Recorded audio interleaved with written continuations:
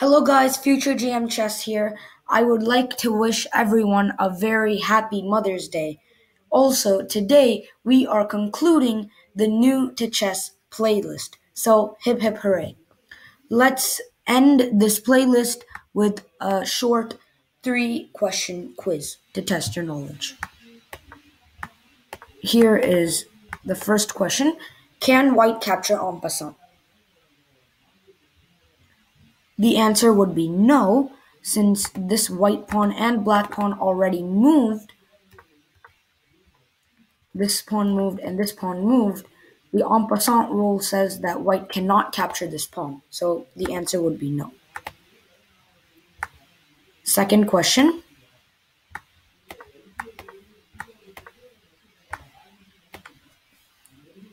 How many different ways can black block this check? I already gave you a hint there. Um, because black cannot move the king out of check and nothing can capture the bishop. So the only way to get out of check is to block. If you said four, you would be correct. Black can block with the bishop, with the knight this way, with the knight this way, or with the queen. Blocking with the queen would not be ideal since you would be losing a queen for a bishop. So that's just a side note. So there are four different ways, and I would like to say that only three are good. Um, final question. Okay.